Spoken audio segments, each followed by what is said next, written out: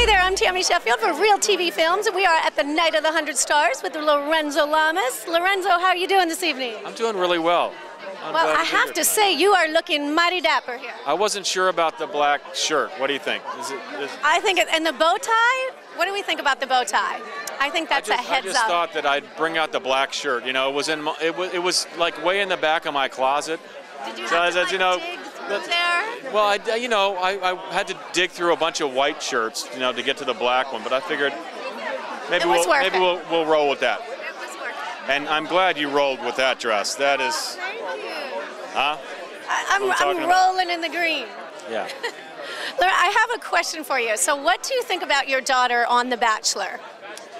What did I think about Shayne on The Bachelor? Uh, I was happy for her because she wanted to do it, you know, and, and she wanted, you know, she wants to be on television in the worst way. She, you know, she, is that good or bad? you know, well, I thought initially that it, it might have been not the best choice if she wanted to be an actress, yeah. but it's a different, a different climate now. You know, the entertainment business is is equal reality to scripted drama, and if she's smart, she can parlay her popularity into a career.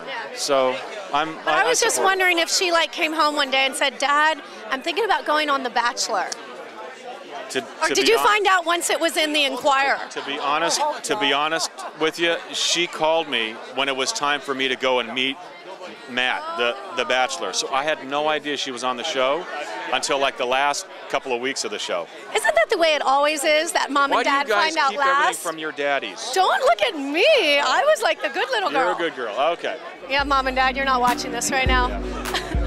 well, thank you so much, oh, and you look you. wonderful. And go in there and have a great night. So do you. Thanks so much.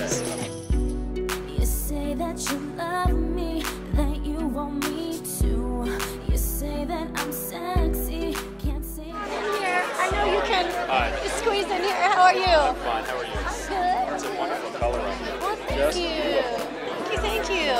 I think we look pretty good together. What do you think? Um, I, I'm not complaining. All right, here we go. You don't love me like that. Okay, Good choice, by the way. It's different.